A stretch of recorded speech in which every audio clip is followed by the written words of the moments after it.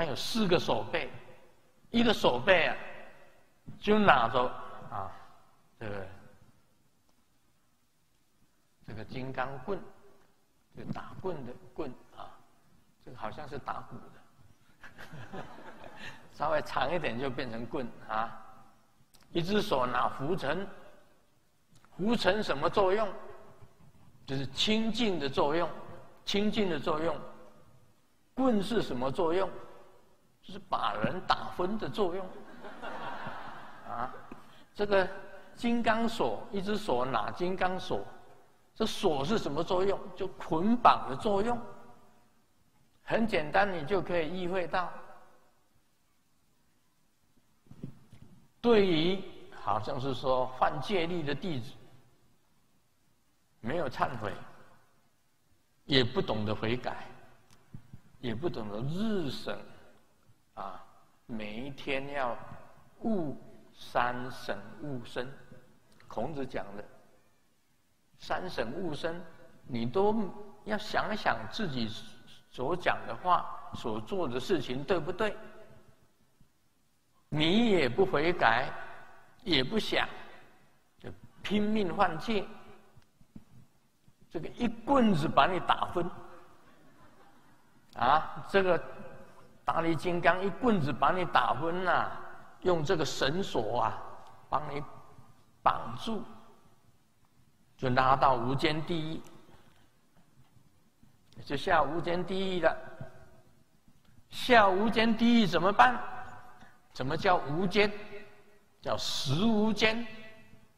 啊，地狱还有让你喘气的地方，那个不叫无间，那是有间，让你痛苦一下，又恢复原来。所谓无间，就是苦无间，痛苦没有中断的。我们每个人身体都会有病痛，痛起来啊，像牙痛。牙痛不是病，痛起来要人命。但是它毕竟是有空档的时候，你痛一痛，哎，又好了；痛一痛又好了。所谓地狱的无间地狱是苦无间，永远的痛。还有空无间，什么叫空无间呢？有没有想到啊？什么叫空无间？反正你这个地狱存在的时候，你永远在那里，而且你看的整个地方全部都是你，不会有别人，只有你一个人在那边受苦，这叫空无间，而且呢，每一个床啊，每一个地狱的床，地狱还有床让你睡啊。啊，每一个床上都是你，全部都是你，就是空无间，痛苦无间，实无间跟空无间，那种地狱叫做无间地狱。在《地藏经》里面有写到，这个意呀，有一天这个地狱这个结束了，还送你到别的地狱。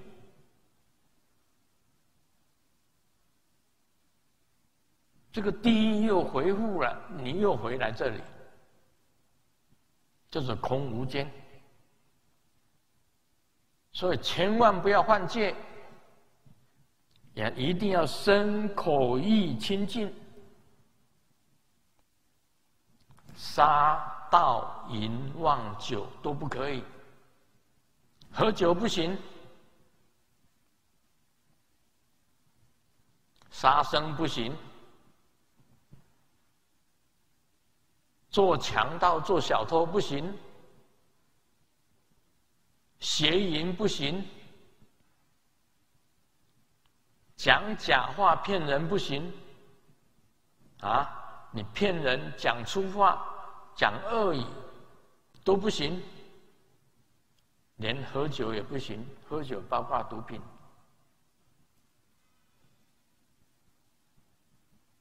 佛教的戒律很重的。一切的发展，菩萨戒一共有两百多条、三百多条。比丘、比丘尼戒也一样，都有几百条的戒律在那里，你自己好好每天的看一看。大力金刚啊，金爱法怎么做？难道也把棍打昏了吗？啊，金爱法，你喜欢那个？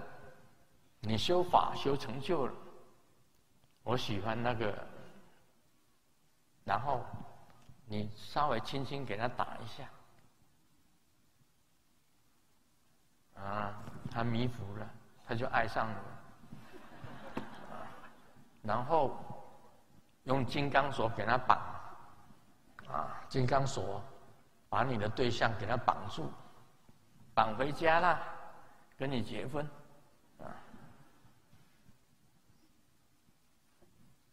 这个就是金爱法。一个是打的很重，用绳子绑到地狱；一个是打的比较轻，让你稍微昏迷。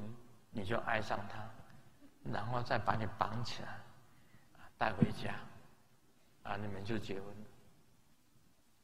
那个就是金爱法，不然怎么讲？这个佛尘就是你忏悔了，要是金母用佛尘扫你，变成清净了，你可以往生到佛国净土。七颗印。就是愤怒印，它有四个手背，就是四个三种法器，一个齐克印，啊，一样要有这个我们密教里面同样讲到，